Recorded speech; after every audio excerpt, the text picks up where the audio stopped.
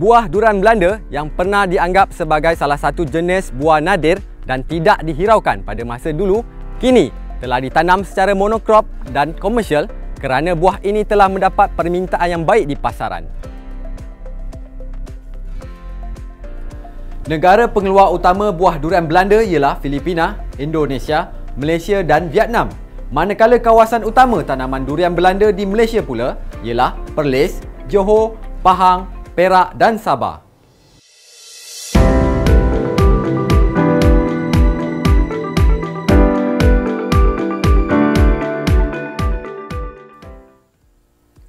Asas ekonomi merupakan faktor terpenting yang membantu meningkatkan penghasilan tanaman serta menentukan kualiti buah-buahan dan sayur-sayuran.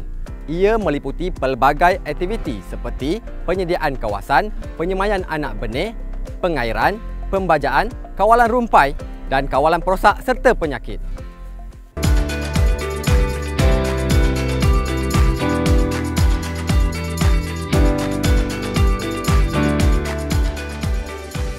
Pengendalian untuk pemasaran atau juga dikenali sebagai pengendalian lepas tuai merupakan satu rantaian aktiviti penyediaan, pergerakan dan pemeliharaan kualiti hasil pertanian dari ia mulai dituai sehinggalah sampai ke pengguna.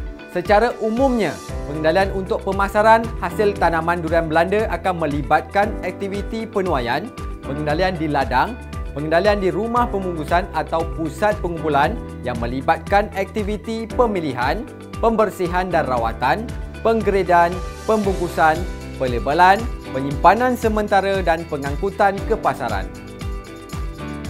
Buah durian Belanda mencapai peringkat kematangan dalam tempoh masa 12 hingga 13 minggu selepas berputik dalam keadaan biasa. Buah yang matang akan menunjukkan ciri-ciri seperti jarak duri yang telah merenggang pada kulit buah, bentuk buah akan melebar dan selalunya di bahagian hujungnya tumpul serta tangkai buah telah berwarna kekuning-kuningan. Jika ditepuk kedengaran seperti bunyi berongga serta buah mula mengeluarkan aroma. Buah durian Belanda terdiri daripada empat indeks seperti berikut.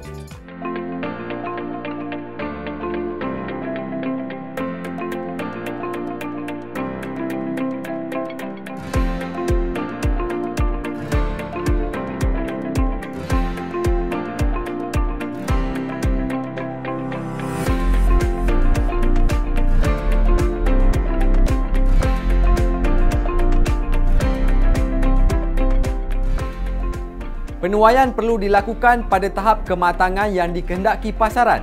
Ia mestilah dilakukan dengan cermat kerana kecederaan pada buah durian Belanda semasa dituai akan mengakibatkan buah menjadi rosak dan tidak dapat dipasarkan. Waktu yang disyorkan untuk penuaian adalah pada awal pagi atau petang. Buah durian Belanda dituai dengan memotong tangkai menggunakan pisau atau gunting dahan yang tajam tanpa merosakkan kulit buah. Tangkai buah durian Belanda dipotong tidak kurang daripada 5 cm panjang dari pangkal buah. Pemilihan dan pengasingan di peringkat ladang perlu dilakukan bagi memastikan hanya buah durian Belanda yang baik dan memenuhi spesifikasi pasaran sahaja dibawa ke rumah pembungkusan atau pusat pengumpulan. Buah durian Belanda yang dikumpulkan di tempat teduh akan diasingkan mengikut tahap kualiti dan variti sebelum disusun ke dalam bekas-bekas yang sesuai.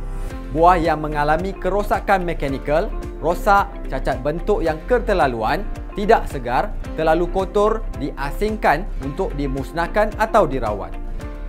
Pengangkutan keluar dari ladang perlu dilakukan dengan cepat untuk mengelakkan buah durian Belanda daripada terdedah terlalu lama pada keadaan persekitaran yang ada kalanya terlalu panas dan terlalu lembap. Jenis kenderaan yang digunakan juga perlu sesuai dengan jarak pasaran dan jumlah barang yang dikendalikan.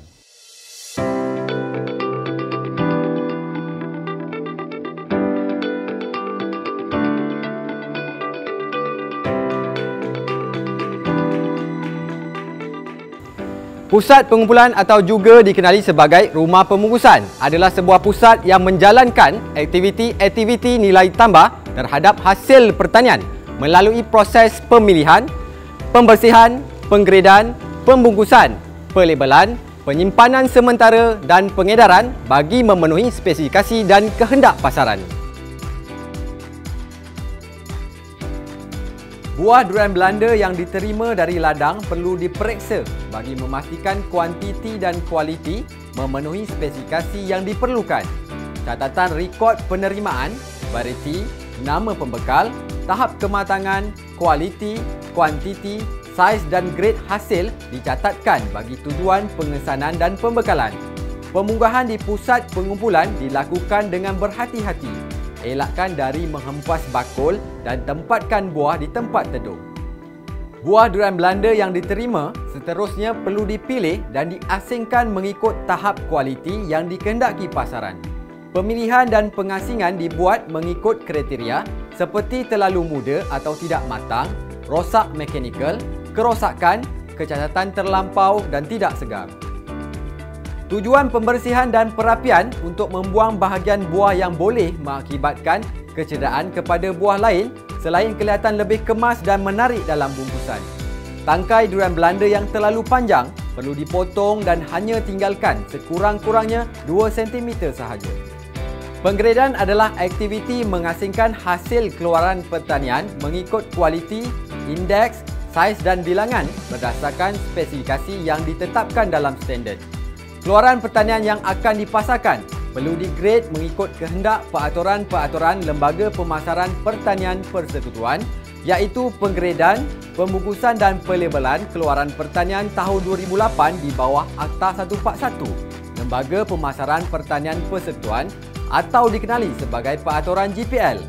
Di bawah Peraturan GPL, penggradan hasil pertanian dikelaskan kepada tiga grade iaitu Premium, Grade 1 dan Grade 2.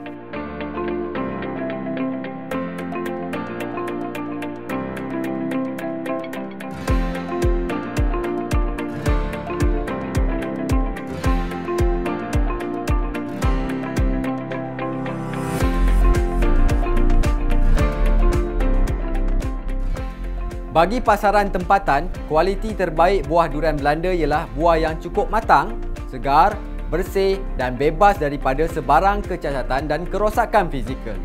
Sementara kualiti yang diterima di pasaran pula ialah buah yang cukup matang, segar, bersih, terdapat kecacatan minimum dan agak bebas daripada kerosakan fizikal. Manakala kualiti yang tidak dikendaki di pasaran pula ialah buah tidak cukup matang, tidak segar, kotor dan terdapat kecacatan bentuk dan rupa yang teruk. Kerosakan disebabkan oleh haiwan perosak, penyakit dan kecederaan mekanikal yang menjejaskan jangka hayat pemakanan dan kualiti.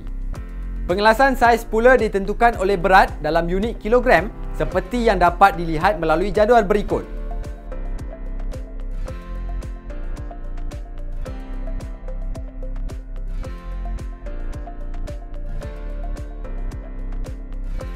Peraturan GPL mewajibkan setiap keluaran pertanian yang akan dipasarkan perlu dibungkus. Pembungkusan bertujuan memudahkan pengendalian mengawal daripada kecederaan mekanikal yang menyebabkan penurunan kualiti serta memberi perlindungan yang optimum daripada kerosakan semasa pengendalian dan pengangkutan. Dalam konteks ini, pembungkusan yang sesuai digunakan adalah bekas ulang pakai muatan tidak melebihi 30 kg bagi pembungkusan pukal manakala bagi pembungkusan runcit pula menggunakan beg plastik. Seterusnya, durian Belanda yang telah dibungkus dengan baik hendaklah dilabelkan bagi mematuhi kehendak di bawah peraturan GPL yang mana sesuatu hasil pertanian untuk jualan mestilah disertai dengan label yang mengandungi maklumat-maklumat seperti berikut iaitu nama atau kod penanam bagi Sabah dan Sarawak sahaja, nombor kad pengenalan atau pendaftaran syarikat, alamat pengeluar, jenis komoditi, grade, tarikh tuayan, bilangan dan berat bersih. Buah durian Belanda kadang-kala disimpan sementara sebelum diangkut atau diedarkan ke pasaran. Penyimpanan sementara diperlukan kerana durian Belanda tidak dapat diedarkan dengan segera kerana masalah teknikal dan logistik memenuhi kuantiti konsainer yang mencukupi hasil durian Belanda yang berlebihan daripada permintaan pada hari tersebut dan menstabilkan harga di pasaran. Pengangkutan atau logistik merupakan perkara terpenting bagi menentukan komoditi yang sampai ke destinasi kekal berkualiti sebagaimana keperluan pasaran. Buah-buahan atau sayur-sayuran yang telah dibungkus menggunakan bakul, kotak atau jaring perlu disusun dengan rapi bertujuan untuk mengurangkan pergerakan atau gegaran sewaktu perjalanan yang boleh menjejaskan kualiti.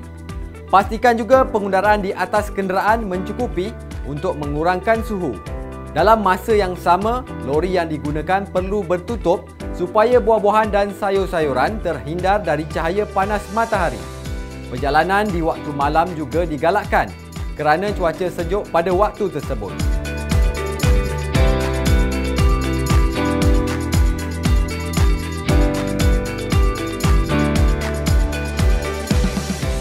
Selain rasanya yang manis dan sedap, durian Belanda sebenarnya mempunyai banyak khasiat kerana dipercayai mempunyai kadar antioksidan yang tinggi. Di Malaysia, tanaman durian Belanda diusahakan seluas 482.21 hektar dengan pengeluaran hasil sebanyak 1,168.46 metrik tan telah direkodkan pada tahun 2020. Berikut adalah harga purata bagi buah durian Belanda di semua peringkat pasaran bermula dari ladang, borong dan runcit dari tahun 2017 sehingga tahun 2021.